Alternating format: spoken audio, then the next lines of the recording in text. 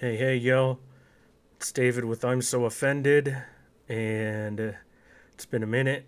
I've been, uh, you know, I've been contacting, uh, in contact with some of y'all, and and I've also had court stuff going on. And finally, I said I was going to show you what I've been doing in court, and uh, you know, uh, the stuff that I show that I've shown on here is, I'm telling you, I'm I'm the guinea pig. I'm the one that's going through it, and I'm like I'm doing these things. Like I'm not just telling, you know, showing things that I hear.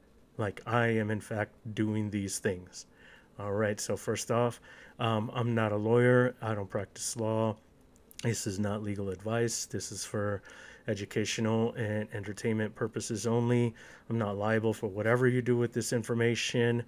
And, um, you know, feel free to hit me up and ask questions and whatnot. All right. So, um, I'm going to give you a little background here.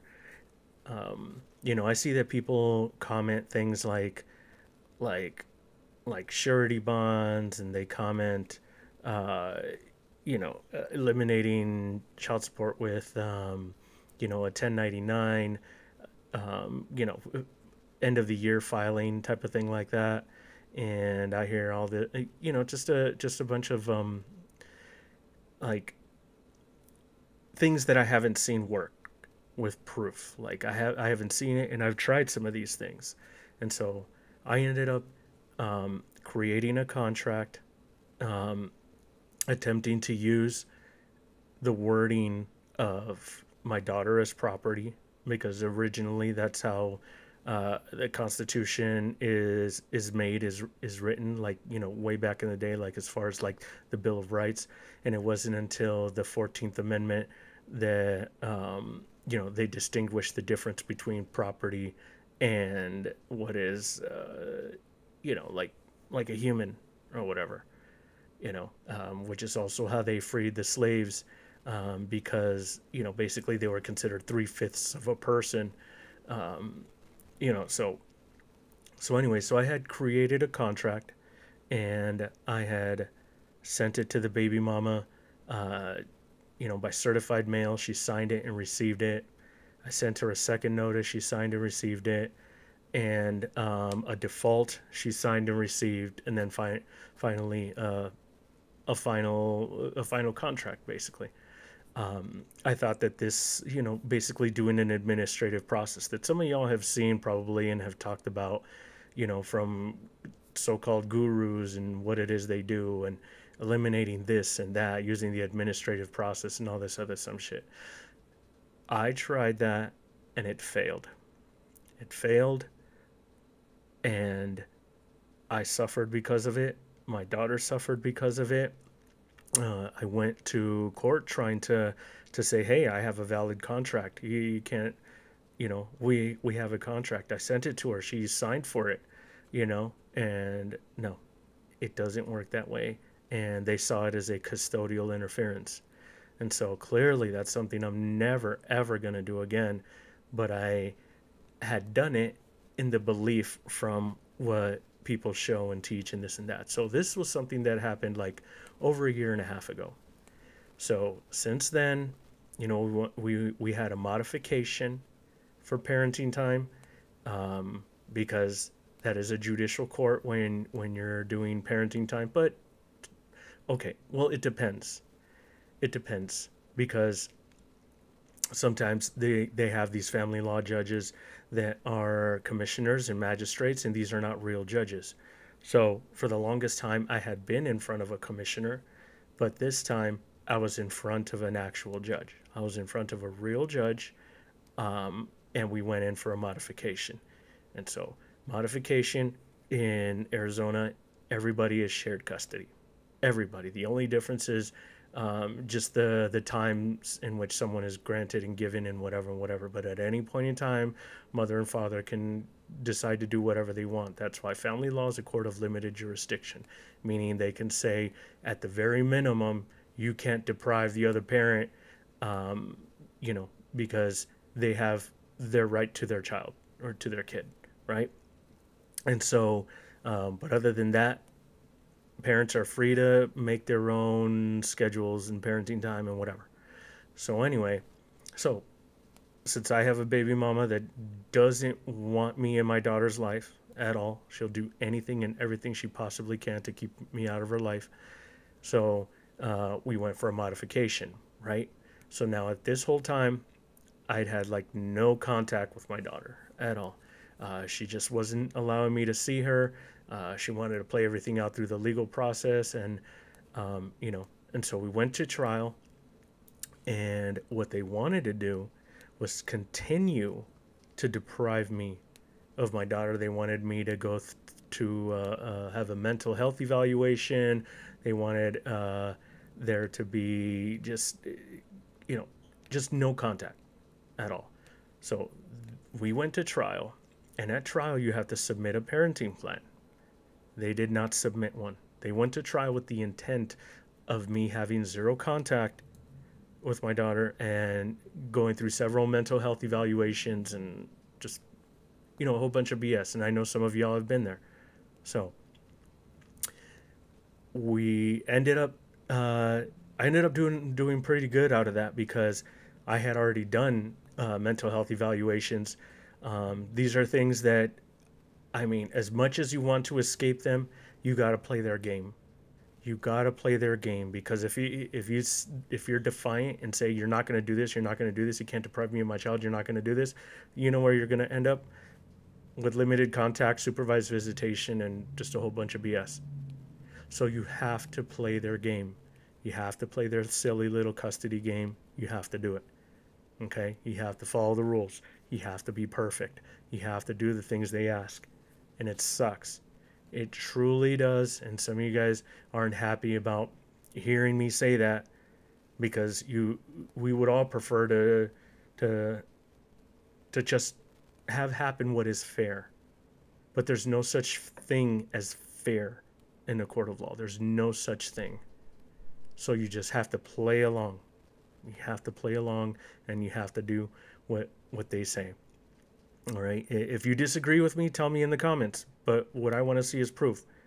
Proof that you did something different and it worked. Absent of an agreement, like if the mom and dad have an agreement, yeah, you guys can do whatever you want because you have an agreement. But if there is conflict, if there is controversy, then it defaults to whatever the rules and codes and statutes are. It is what it is. And it sucks. But anyway, so there was a ruling, right? And because of my custodial interference, they asked for a bond, that there be a bond. Like basically, like I couldn't take my daughter home to have parenting time at home unless there's like a bond that, that for like the, the the amount they came up with was five thousand. So five thousand dollar bond um, in order for me to be able to have parenting time with my daughter at home. That's what they said. All right, and so um, but at least I had continued parenting time, right? And so they ordered for you know my, my daughter to go through for for us to have some something that they call therapeutic sessions, therapeutic uh, visitation type of thing, where there's someone there uh, uh, monitoring and and writing down and making like uh, some kind of assessment or judgment based on you know the interaction and whatever whatever. So you know, so I had to, and it's different from supervised visitation. Supervised visitation just writes down what's going on. Um, damn, I'm getting static. Sorry about that. Can you hear me? Okay. I can't really hear me, but all right. Sorry about that.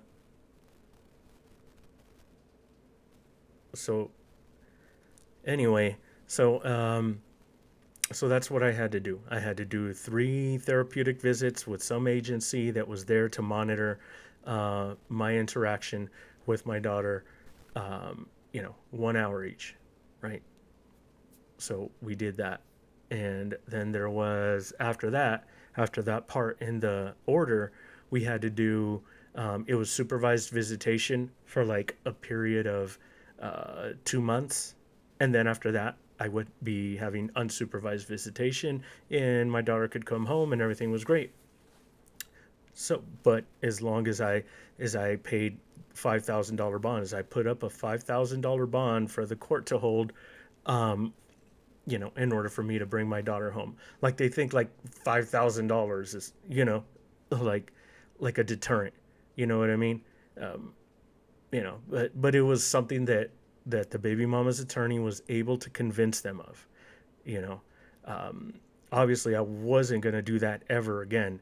You know, I tried something and and and it failed, and it sucks that I was led to believe in the nonsense that some of these guys put out there about property and children and property and and you know and making your own personal contract without involving a judge and by doing it an administrative process. And it, it's nonsense. I'm sorry but it's nonsense it's nonsense all right so i want you I, want you guys to see me as the example that i tried that i tried it and it failed so don't do it the moment i started getting remedy is when I followed their rules. When I followed the rules and played their little game, is when it all started working out. Okay.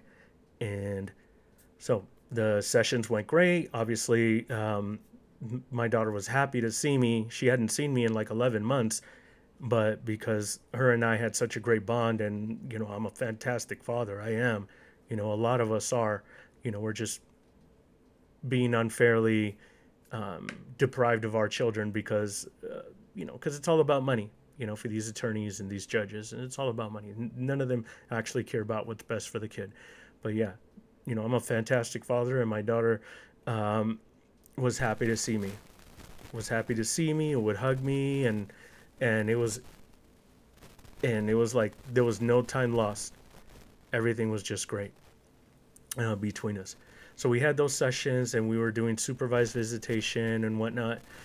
And so part of the order that was written by the judge coming out of the trial um, um, said, you know, that I had to go through these therapeutic visits and then do the supervised visitation. And so, uh, but he left it open as far as like should there be a reason to change it you can change it and file something you know according to the rules basically you know so so that's what they did so first things first um, they got the reports from this um, from this uh, agent right with this agency um, that it was just it, it, was just full of lies the lady just um, she she she has a monetary gain from these sessions. Um, I didn't trust these sessions and I recorded them to save myself, to protect myself. So um, make sure you check the rules of your state. You know, if it's a one party state in which you can record um, and you being allowed to record in one party, meaning yourself, then record everything. So I protected myself and I recorded the sessions. I had a grievance with the agent and we had a phone call, a conference call with that agent and her supervisor, and I recorded that phone call as well. And all of it was necessary. It was all necessary. So, in her report, she was stating that I need more, uh, another parenting class like an extended one. She was saying that I, I need another 12 months of supervised visitation, just a whole bunch of nonsense that really, really was not needed. And this lady ha- had a doc, was a doctor or had her doctorate degree and so many years of experience. It doesn't matter. These people, they have session after session after session after session, and they one hour to make a judgment call on a controlled environment is ridiculous. It's absolutely ridiculous. So, you know, I I feel for those fathers out there that have had their kids taken from them because they have some therapist or counselor, you know, monitoring just you know, an interaction in a closed and controlled environment which has absolutely nothing to do with what an environment, a normal environment between parent and child would be like like out in the community, out in the public, at home. It's just it's just terrible. It's very very terrible and these agencies they don't do anything for families. They don't do anything. They're all they're all just in it for the money. They're all in it for the money because their price to appear in court is five hundred dollars. That's what it was for this lady. Yeah, and so um, you know they, they charge for everything. They don't care. It's all about money. Always. That's it. Your your value as a parent is measured by the amount of money you have. Accept it. We are all worthless. Doesn't matter how great of a parent we are, we're all worthless. All right. Sorry, I'm just being honest. I'm just being honest. So here we go. So I had those three therapeutic sessions, and I was like already starting um, supervised visitation that had already started to occur, and so the the supervising the the agent from the therapeutic visits sent out her report saying I needed a year supervised visitation and all these parenting classes and you know just a whole whole bunch of BS that obviously was not needed or necessary. Um, she had n- no idea. She just doesn't know what she's doing. She should not be in her position at all. So so they filed this thing called a motion to alter or amend judgment. So this was the baby mama um, and her attorney that filed this, as you can see here. So they want to alter or amend the judgment. The judgment being the the um, the modification, the parenting plan modification. So we went to trial in October, and they filed this in uh, where's the date? Oh, January.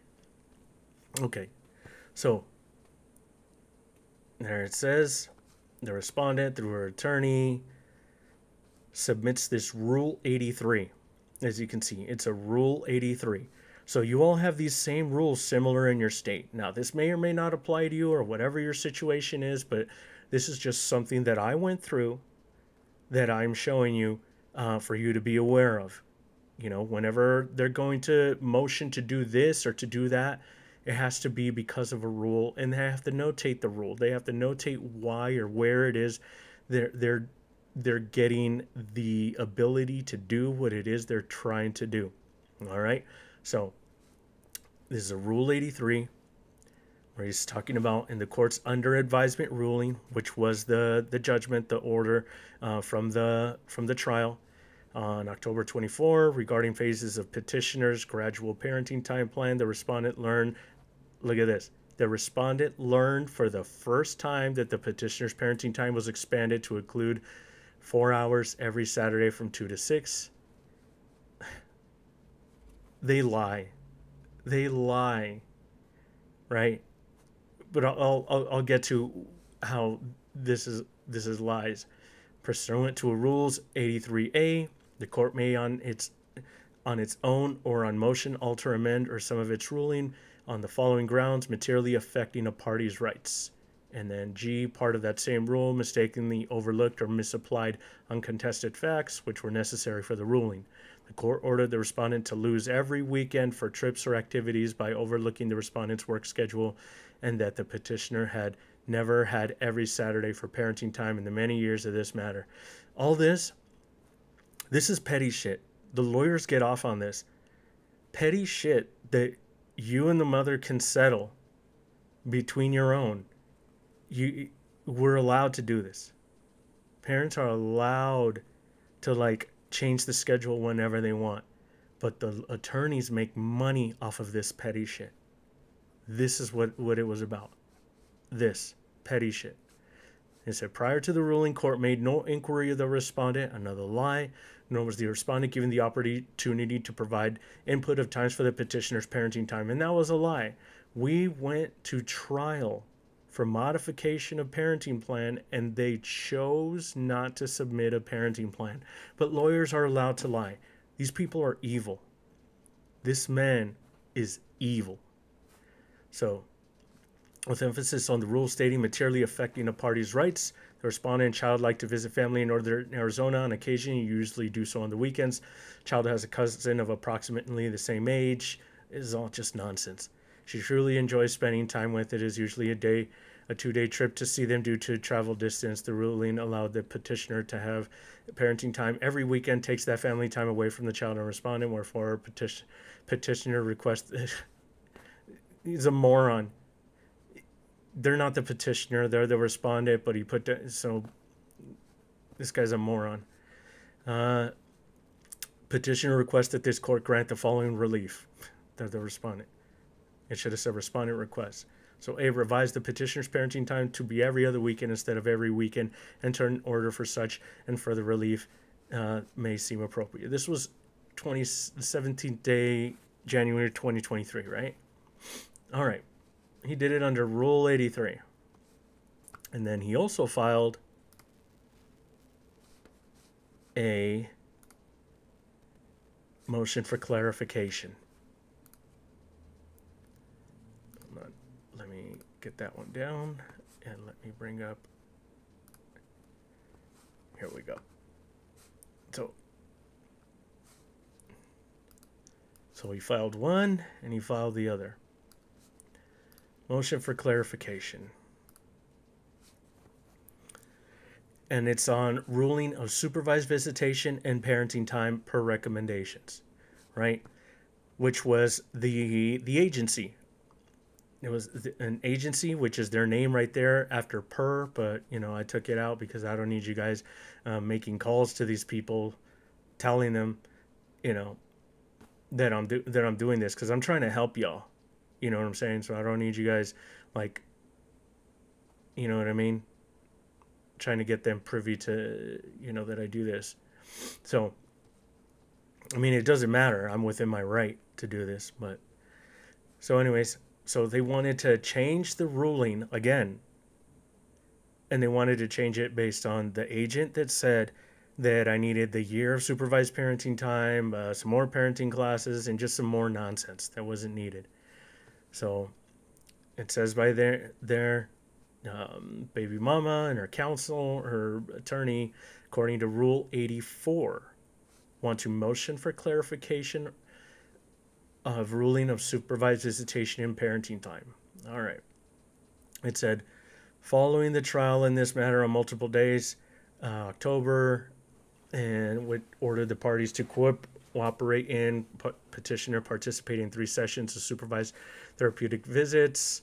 Uh, following that, petitioner will work through a parenting plan in three-month intervals, supervised visits, supervised exchanges, bond of 5000 like I said, supervised parenting plan.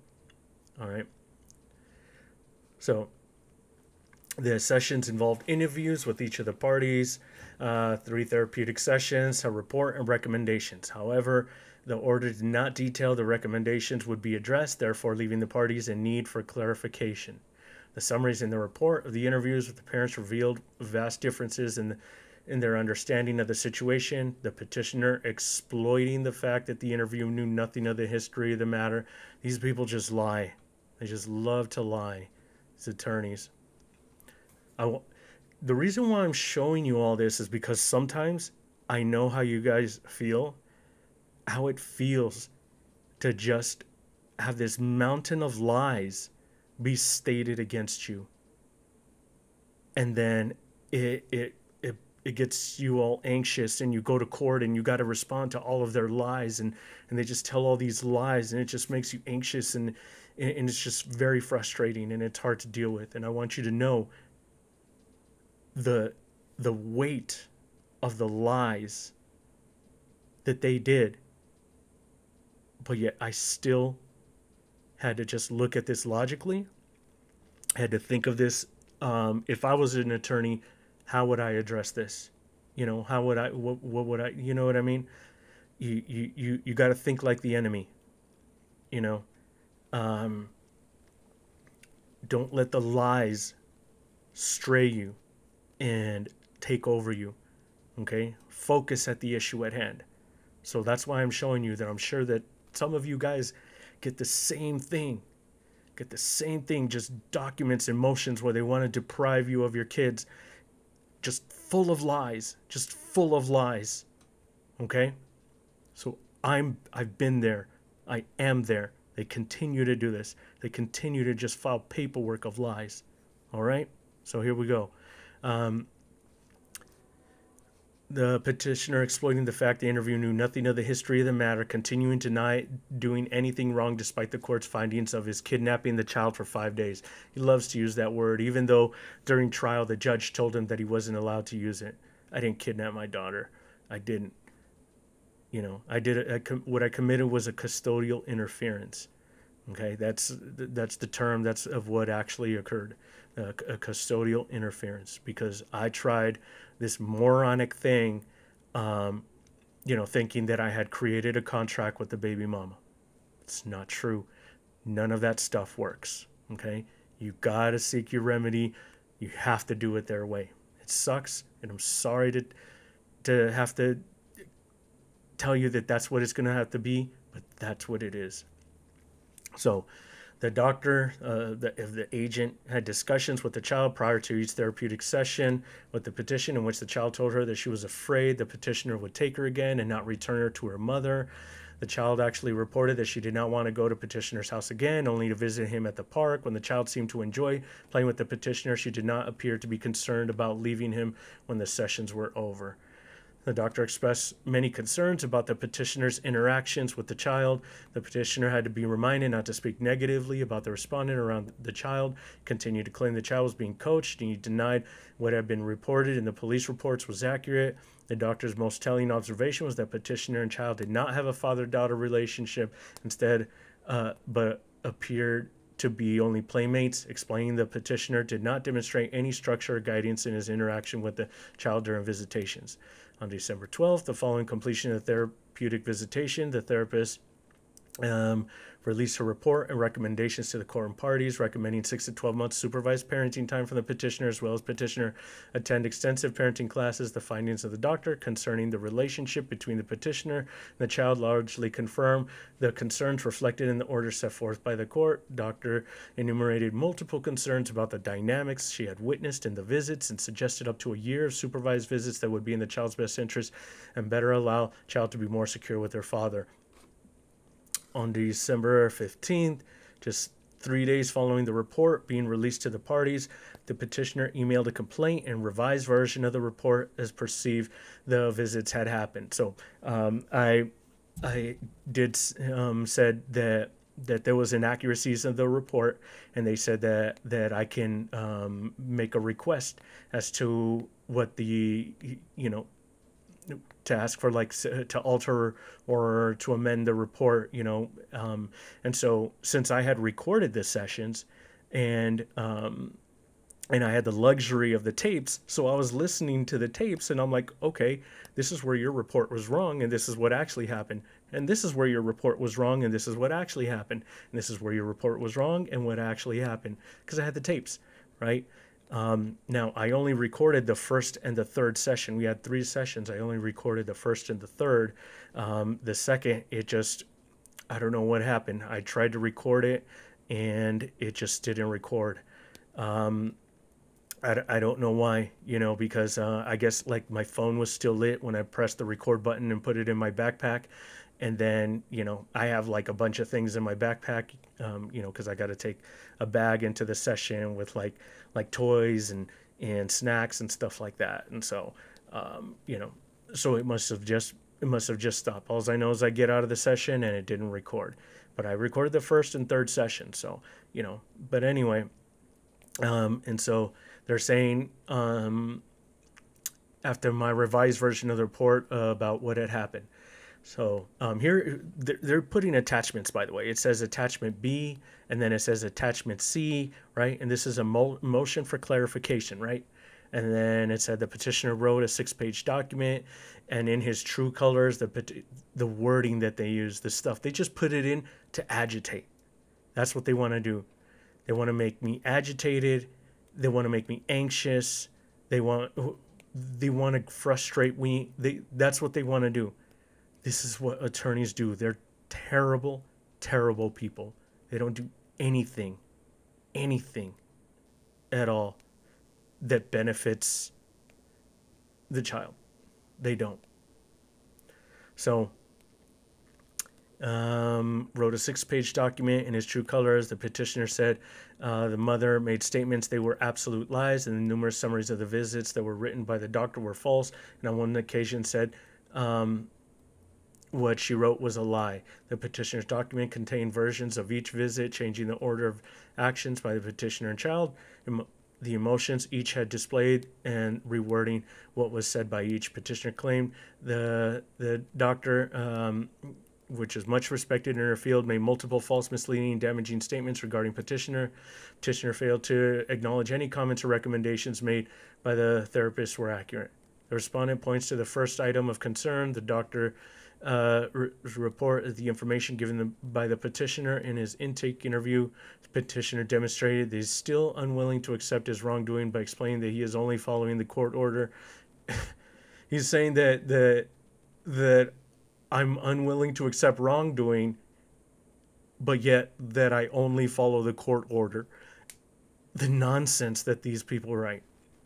Uh, he stated to the doctor that he has revised the parenting plan was not written right, therefore there was a misunderstanding. Lies. The petition continues to accuse the respondent of coaching the daughter and telling her he is a bad man. The petitioner, previously ruled a vexatious litigant and now again representing himself with, without counsel, has confirmed that he has no understanding of the true nature of, nature of his actions and the consequences. He again denies that he kidnapped his daughter for five days after two evidentiary hearings and the findings of two different judges, and he continues to assert that the police lied in their reports. He claimed in his rewrite of Dr. Report that he has never read the reports from the kidnapping. This claim is belied by the fact that not only did he quote those reports in some of his pleadings prior to obtaining an attorney, but he has shown those very reports as exhibits during the trial. With Dr. Report saying Mr. Quintero stated he had revised the parenting plan and it was not written right, therefore it was a misunderstanding. Petitioner claimed a different version of the statement that was not even close to what the doctor said. The doctor is experienced, professional, and carefully reports what is said in these interviews. oh. So the doctor's recommendations were that for the minor child's best interest, the petitioner have supervised visitation in place for six to 12 months in addition, Dr. highly recommended that the petitioner attend extensive parenting classes. The petitioner has demonstrated that he believes that literally for every report written by a counselor or therapist in connection with this case that reflects unfavorably on him, that the author of the report is a liar and does not understand their job.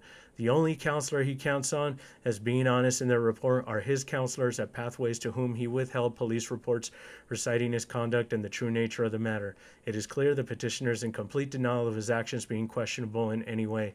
The respondent is requesting clarification for the current order regarding the scheduling of supervised visitation. Point two sets an amount of time up to four hours per week for the petitioner's supervised parenting time each week, but without a day or time. The court did set a time and a day for the scheduling of unsupervised visitation from 3 p.m. to 7:30 on Wednesdays. The respondent and the supervisor for the supervising agency adopt the court's Wednesday schedule for the supervised visitation. The respondent requests clarification of the order and confirmation of the petitioner's parenting time will remain Wednesdays from 3:30 to 7:30 to allow the respondent and child to have a stable and consistent schedule to plan activities. Petitioner has also had a history of being late to visitations and or forgetting them completely. Just lies, man. Just lies. In the past, he has demanded modifications or makeup time, disregarding the orders that have been put in place at the time, as there is no provision in the order regarding that issue. The respondent requests clarification by the court to clear that should the petitioner or exercise uh, the scheduled parenting time. He waives that time with no right to demand makeup time absent the respondent's agreement.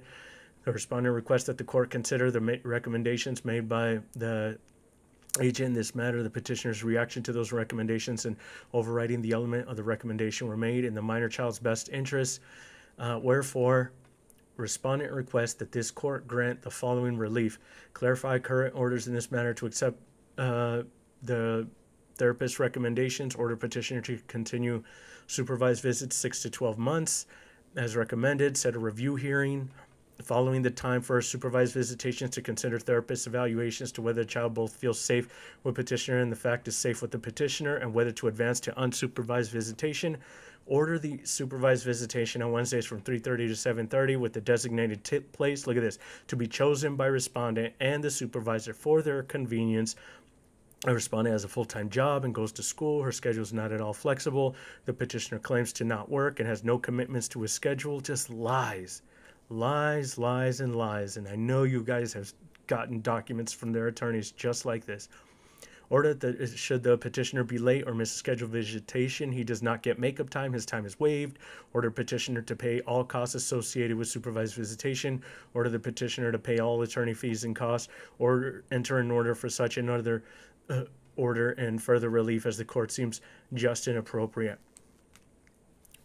Now think to yourself that you just got something like this. Something full of lies, just looking to take your child from you working in conjunction with these agents that just want to take your children from you. They don't care. These agencies don't care. They're not there for you or your kids. The court doesn't care. They're not there for you and your kids. But you have to follow the rules. You have to play their game. You have to learn how to look at this, this document that I just showed you, and the other one, the motion to alter amended judgment. You have to be able to learn how to look at this and get frustrated but let it pass and focus on what are we doing here? What are they asking for? What are they invoking? What are we doing here? And how are we going to reply? That's where your focus should be. So everything between the first page and this last page is nonsense. It's all BS. The only thing that matters is what are we doing here? It's a motion for clarification based on Rule 84. Do you see it there?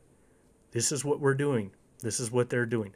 A motion for clarification based on Rule 84. Okay? And then you go to the last page. What are they asking for? That's what they're asking for. These are the things that they want. Let me.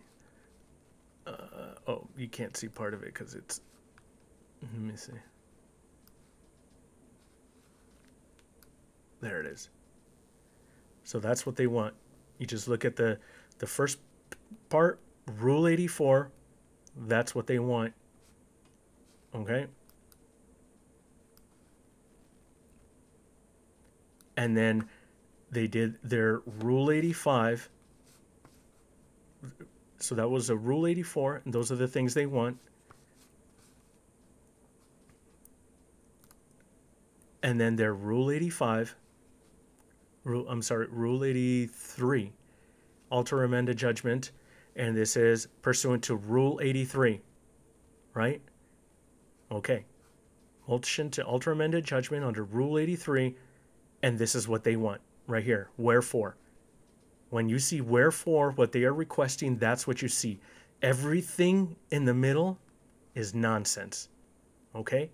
Don't let it get you down. Don't let it bother you. It's nonsense. So, we'll get to it. Then this is what the court ordered. Um,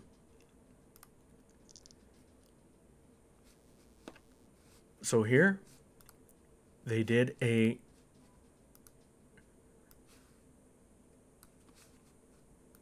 well, not ordered. Uh, uh, basically, well, the court had ordered that I respond, basically, because they received it, and so the court ordered that I respond. They saying respondent's motion to alter amend a judgment. The court has received their motion on January 17th, and it is ordered that the, the petitioner shall file a response, right, by no later than 30 days, by February 20. Okay, I have to respond to this, right? Rule 83, their motion to alter amend a judgment. All right. And then they also did one for this one. Rule 80 Rule 84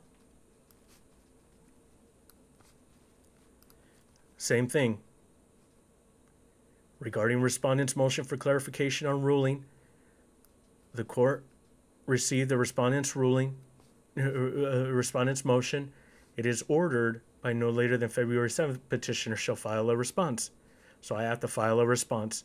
And they set a hearing. So there was a hearing set February 16th. Okay? So now we're getting into about 40 minutes. So I guess I'm going to have to break this down into several parts. Um, so right now we have that they filed a Rule 83 motion and a Rule 84 motion. Uh, this is out of Arizona. So if you guys want to play along, I want you to leave me in the comments how you would respond. How would you respond to getting one of these Rule 83 motions? How would you respond to getting one of these Rule 84 motions? All right, so this is going to be probably a three or four part video series because um, I did my response, they did their response, we had a hearing, and then it went into another. Yeah, and we'll get into all that. All right, so uh, for now, um, I know this has nothing to do with child support, but I had mentioned that I would be doing custody videos, and this is um, how I deal with. And for you, hopefully, it can help you guys if you happen to get one of these motions filed against you, or at least it somewhat shows you that I too get these kinds of motions. I do get these kinds of things that, you know, the baby mama attorney files against me. But um, I defeated this but I'm going to show you how I did it. You know? Sure, I already revealed that I defeated it, so there's no suspense. That doesn't matter. What matters is how I did it.